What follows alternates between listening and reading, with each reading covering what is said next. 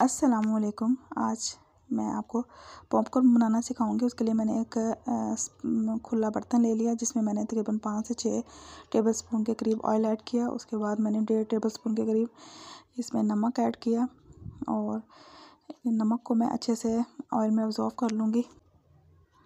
यहाँ पे मैं ऑयल में अच्छे से नमक को मिक्स कर लूँगी। जब ये अच्छे से रिज़ॉल्व हो जाएगा ऑयल के अंदर तो फिर मैं मैंने मकई के दाने जो लिए हैं, वो लिए हैं तकरीबन हाफ़ कप के करीब, वो मैं इसमें ऐड कर दूँगी। पॉपकॉर्न जो होने जो होने चाहिए मकई के दाने, थोड़े हार्ड वाले लेने चाहिए, जो कि मार्केट से मिल जाते हैं। पॉपकॉर्न वाले लेने चाहिए जिनसे पॉपकॉर्न बन सके। उसके बाद मैं मकई के दानों को अच्छे से इसमें ऑयल में मिक्स कर दूँगी। तकरीबन तीन से चार मिनट मैं इसमें फ्राई करूँगी नमक, ऑयल और पॉपकॉर्न डाल के। अच्छे से मैं इनको फ्राई कर लूँगी। उसके बाद एक चीज़ जो इसमें अहम है, वो ये है कि आँच इस वक्त बिल्कुल तेज़ होनी चाहिए और ऑयल भी अच्छे से हीटअप होना चाहिए। उसके बाद इसमें नमक ऐड करना चाहिए और पॉपकॉर्न को ऐड करना चाहिए मकई के दानों को। और, इस तरह से बहुत ही इजी से वे में आपके पॉपकॉर्न घर में तैयार हो जाते हैं। यहाँ मैं पॉपकॉर्न को अच्छे से फ्राई कर लिया है और इनको मैंने बिल्कुल एक बारीक सी लेयर सी एक तय सी बना दी है ताकि इनको अच्छे से हीट मिले और ये अच्छे से पॉप होके पॉपकॉर्न की शक्ल में इख्तियार कर लें। आ, ये मैंने सारों को इक्वली एक तय की शक्ल में मैंने बिछा दिया है। ऑयल के अंदर और मैं यहाँ पे इसको कवर अप कर दूँगी और तकरीबन फाइव मिनट्स में हमारे पॉपकॉर्न तैयार हो जाएँगे। इस टाइम पे भी आँच मैंने बिल्कुल फुल रखी हुई है।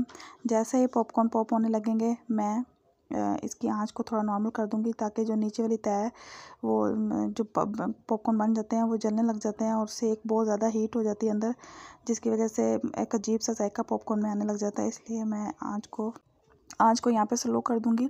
ये देखें अभी एक दो पॉपकॉर्न पॉपकॉर्न बनना स्टार्ट हो गए हैं और अच्छे से हीट अंदर डेवलप हो गई है।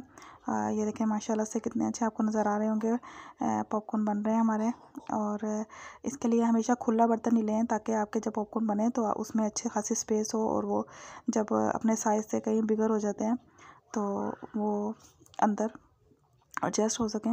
ये देखें पॉप अप खो के उछल रहे हैं और और अच्छे से पॉपकॉर्न तैयार हो रहे हैं। या इस जगह पे मैंने, देखें अच्छा खासा इसमें आप देख रहे हैं स्टीम है।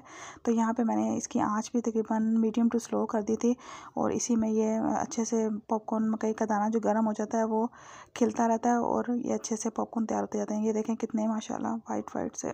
मकई का दाना माशाल्लाह से खिलता हुआ ऊपर आता जा रहा है और काफ़ी ऊपर तक ये फिलअप हो गया मेरा जो सॉस पैन था। और यहाँ आँच बिल्कुल मैंने स्लो कर दी और और बिल्कुल हल्के से आँच पे ये पक रहे हैं जितने मकई के दाने, जितने मकई के दाने नीचे रह जाएँगे, वो आहिस्ता आहिस्ता नॉर्मल सी हीट से फूलते जाएँगे। उसके बाद मैंने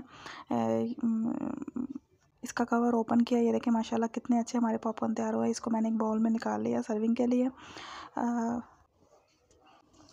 जैसे इसमें आवाज़ आना बंद हो जाती है तो इसका मतलब हमारे कंप्लीट पॉपकॉर्न तैयार हो जाते हैं।